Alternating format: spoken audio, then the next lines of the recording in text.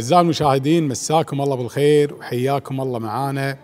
وحلقة جديدة من برنامجكم من مكتبتي. وضيفنا المتواجد معانا دائما الأستاذ فهد العبد الجليل أبو غازي مساك الله بالخير. مساك الله بالنور والسرور يا فهد حياك الله والساعة المباركة. واليوم راح نستكمل حديثنا عن هذا الكتاب القيم صفحات من تاريخ الكويت الرياضي. الطبعة الأولى عام 1983 إعداد إبراهيم شتلة ورجائي عبد الحميد. تكلمنا بالحلقة الماضية عن نادي الخليج العروبة والخليج والحين راح نستكمل حديثنا عن نادي الخليج. ترى كان من أقوى الأندية تصدر الدوري أكثر من مرة فترة خمسينيات. نعم. هي طبعا قبل ظهور الأندية الجديدة. نتكلم من عام 1954 تأسيس نادي الخليج إلى 59 خمس سنوات وتأسس خم- 54 ونادي الخليج انبثق بالنادي الشرقي. نادي الشرقي يعني بقوا ناس في النادي الشرقي والجزء ال- يعني خلينا نقول مميز من لاعبين. والقوي راح أسس نادي آخر اللي هو نادي نادي الخليج. الخليج بداية عام 54 وتم النادي خمس سنوات إلى حل الأندية في عام 59 حصل على أكثر من بطولة. دوري وكاس الخليج يستعين ببعض لاعبي الدرجة الثانية ويهزم العروبة بكامل نجومه. فيصل مطر حارس مرمى الخليج. هذا معروف طبعا. تعرفه فيصل مطر؟ إيه. رحمة الله عليه. رحمة الله زين. والمنتخب وسليمان المضف طبعا. هذا كان حارس مرمى منتخب الكويت بعد. إي. فيصل مطر هني آه، طبعا من لاعبي الخليج فيصل مطر حارس مرمى الخليج والمنتخب وسليمان المضف سليمان المضف اللي كان آه، صاحب آه، رئيس تحرير مجلة الملاعب. إي صحيح. إي. وأمين دلال وغطينا فيها بحلقات كثيرة. إي، جريدة مميزة بالسبعينيات صحيح. طلع العدد الأول 71 مثلا وجبر الجبر حسن درولي أو درولية وفوزي جلال وزاهي كمال وسالم الفقعان وحسين قبازرد وخالد العسكر وحمود عبد العزيز وحمود عبد الرحمن وصالح أمان وصالح أحمد عفوا عباس الشمالي وجمعة حيدر وعبد الحميد عيسى وعلي فورد وجبر الجلاهمة الذي لعب في مركز قلب الدفاع من عام 1956 طبعا جوهر الجلاهم رحمة الله عليه الحكم الدولي المعروف. وصالح أحمد وشاهين الزرقاء. وكان كل كل من جاسم الشمالي ومحمود حسين المسؤولين عن فريق. القدم بنادي الخليج. من ذكريات نادي الخليج الشيخ سلمان الحمود من أبرز لاعبي الخليج. في الساحة الواقعة بين مبنى السفارة البريطانية والمتحف القديم أقام بعض الشباب ملعبا لكرة القدم يجرون عليه مباراتهم عرفت المتحف القديم؟ إيه. متحف الشيخ خزعل متحف الشيخ عبد الله اليابر اللي عند آه، دسمان هناك تصور. آه، السفاره البريطانيه اللي يصير بعد دسمان. إي. إيه بعد أن كونوا فيما بينهم فريقا أسموه أسموه فريق النمر. وكان هذا الفريق يضم مجموعة من شباب منطقة الشرق ممن أصبح لهم دور ملموس في الحياة الرياضيه نذكر منهم الشيخ مشعل الاحمد سمو العهد. سمو العهد عسى الله. يحفظه. يعني هاي معلومة لطيفة الحقيقة. في إن سمو العهد الشيخ مشعل الاحمد آه، كان آه، من مؤسسين فريق النمر. وهذا يؤكد إن هذا الفريق بجانب قصر دسمان صحيح. مملوك طبعا الشيخ أحمد الجابر. نعم نعم رحمة نعم. الله عليه. والشيخ فهد الأحمد كان بالفريق رحمة الله عليه الشهيد رحمة الله عليه. والشيخ مشعل الاحمد أطال الله في عمره. والشيخ منصور الأحمد. والشيخ رحمة بدر عليه. والشيخ بدر الحمود. ومحمد الملا ومحمد الملا رئيس نادي العربي رئيس رحمة نادي الله العرب عليه. صحيح. وبيان بخيت وشقيقة دسمان بخيت وغيرهم. سووا فريق شو اسمه؟ النمر. النمر. وفي أحد الأيام جاءهم واحد من أصدقائهم هو صقر القضيبي وعرض عليهم الانضمام إلى فريق نادي الخليج. هذول عندهم فريق النمر. صحيح. فريق محلي بس مو منضم للاتحاد. صحيح. فريق يعني آه، خلينا نقول الفرجان فرق الفرجان. نعم نعم. فاستجاب أغلبهم لدعوته. وانضموا إلى هذا النادي الذي كان واحدا من أقوى الأندية المتنافسة أيامها. أه.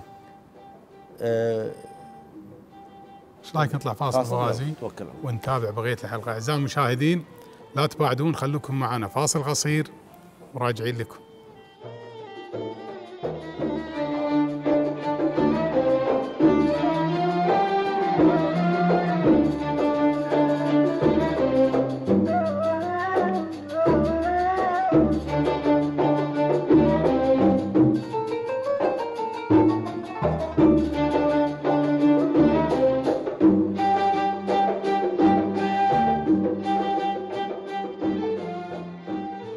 أعزائي المشاهدين رجعنا لكم بعد الفاصل ونكمل بقية حلقتنا وإحنا في البارت الأول.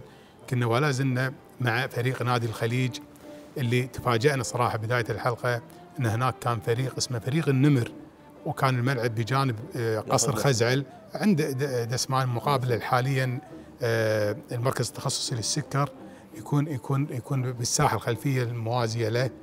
آه، طبعا الفريق هذا يتكون من آه، سمو آه، ولي العهد الشيخ مشعل الأحمد أطال الله في عمره والشيخ فهد الأحمد رحمة الله عليه والشيخ منصور الأحمد رحمة الله عليه وبيان. بخيت.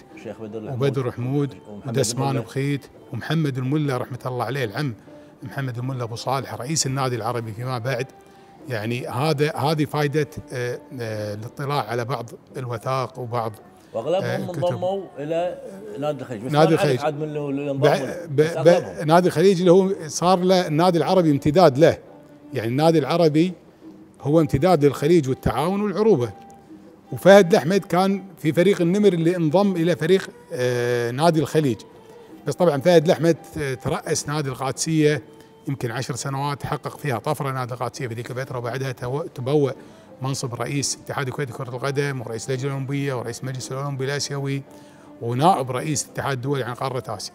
نعم. وكان أحمد بوشهري واحد من اعضاء فريق النمر. معاهم بعد أحمد بوشير أحمد بوشهري الذين انضموا إلى الخليج يلعب في فريق الدرجة الثانية خلال موسم 54 55 وفي لقاء لفريق الدرجة الأولى مع فريق العروبة ضمن مباريات الدوري كان هناك عجز في فريق الخليج فاضطر المسؤولين إلى الاستعانه بأربعة من لاعبي الدرجة الثانية. كان أحمد بوشهري من بينهم. قيمة المباراة على ملعب أبو الحصم ونزل فريق العروبة بكامل لاعبيه المشهورين. أيامها مثل علي ناصر محمد المرشود أحمد أبو طه منير الدقاء محمد الصومالي حارس المرمى نمر. لكن فريق الخليج استطاع أن يصمد أمام هذه المجموعة القوية بل وينهي المباراة لصالحه بنتيجة ثلاثة أهداف مقابل هدف واحد. للعروبة. وسجل الخليج موسى راشد هدفين والشيخ سلمان الحمود هدف. هذول كلهم امتداد نادي العربي. يعني موسى راشد رحمة الله عليه موسى راشد الفهد صار آه، أمين سر النادي العربي وكان يعني من أفضل أمناء السر آه، اللي مروا على النادي العربي وبالأندية بالكويت بشكل عام. وسل- الشيخ سلمان الحمود آه، رئيس الله يطول عمره رئيس النادي العربي في فترة السبعينات كان رئيس النادي العربي وصار رئيس اتحاد الكويتي لكرة القدم في الفترة الانتقالية من 76 إلى 78 وفي سنة 86 صار رئيس اللجنة الأولمبية الكويتية على ما أعتقد. نعم. طبعا آه، وقد بقى الشيخ سلمان الحمود واحدا من أبرز لاعبي الخليج لفترة طويلة وحتى يناير عام 1957 عندما لعب آخر مباراة له مع الفريق ضد الجزيرة. كان نتيجتها التعادل بهدف 57 اي يناير 57 تعادلوا مع الجزيرة آخر مباراة له واحد واحد. وبعد ثلاثة 13 سنة من هذا التاريخ وبالتحديد 2 2 عام 1970 تولى الشيخ سلمان الحمود رئاسة النادي العربي. شوف من اعتزاله سنة 57 الذي يعتبر امتدادا لنادي الخليج وزميله القديم نادي العروبة. سنة 72 70 سنة 70 إيه. بعد 13 سنة إيه. من اعتزاله. 2 2 عام 1970 كان نا- نادي التعاون هو النادي الثالث اللي تحول معظم أعضائه فيما بعد للنادي العربي، إحنا قلنا العروبه والخليج تعاون. صحيح. وقد تولدت فكرة تاسيس نادي التعاون عام 1950 يقول سيد عبد الوهاب النجدي أنه كان مع بعض زملائه يعملون معه في البنك البريطاني يمارسون لعبة كرة القدم في منطقة شرق قرب جراج قرب جراج الغانم وهناك تعرفوا على مجموعة أخرى آه، يلعب أفرادها على نفس الملعب وأصبح يضمهم فريق واحد. مما جعلهم يفكرون في تأسيس فريق نادي رياضي برع هذا الفريق ويعني يأخذ دوره إلى جانب الأندية القليلة الموجودة في ذاك الوقت. وفعلا تم تأسيس نادي التعاون واتخذ المؤسسون هذه يعني مهمة ديوانية السيد راشد مرشد مقرا لهم لك- لكن الديوانية لم تتسع لاستيعاب العدد الكبير انضم إليه النادي فطلب عبد الوهاب النجدي من والده أن يسمح له باتخاذ ديوانيته مقرا لاجتماعهم. فوافق الوالد وكانت الديوانية عبارة عن غرفة واحدة وساحة وبدأ المؤسسون يجمعون تبرعات من الأعضاء ومن بعد المشجعين بينهم والد عبد الوهاب النجدي والسيد أحمد شعبان. بذلك تمكنوا من شراء أثاث للنادي وكذلك الأدوات الرياضية اللازمة بينها أدوات لرفع الأثقال. طبعا تكلم بعد كذلك أن يضيف عبد الوهاب النجدي أن سيد عيسى الحمد كان يعمل وزارة التربية قام بزيارة النادي مو زياره هو دائرة المعارف وصرف لهم مكافأة مالية تشجيعية مقدارها 3000 ربوية كما قدم لهم تسهيلات اللازمة.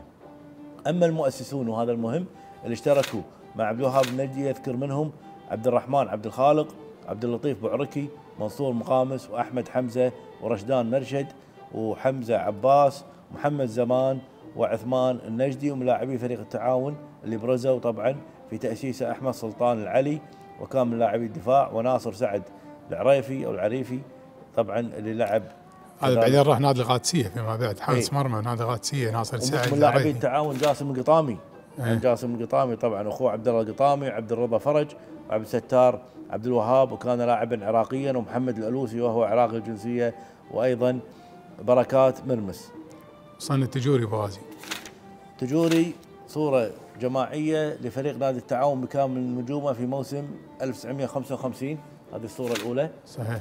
الصورة الثانية صورة لعبد الوهاب النجدي من مؤسسين نادي التعاون. صورة جميلة للاعبين ومؤسسين نادي التعاون اللي تأسس في ديوانية المرشد بعدين لضيق الديوانية انتقلت إلى ديوانية آه، آه، عبد الوهاب النجدي. أعزائي المشاهدين لا يسعني في نهاية الحلقة إلا أني أشكركم على المتابعة وأشكر زميلي فهد عبد الجليل. إلى أن نلقاكم إن شاء الله في حلقات قادمة. ومع السلامة.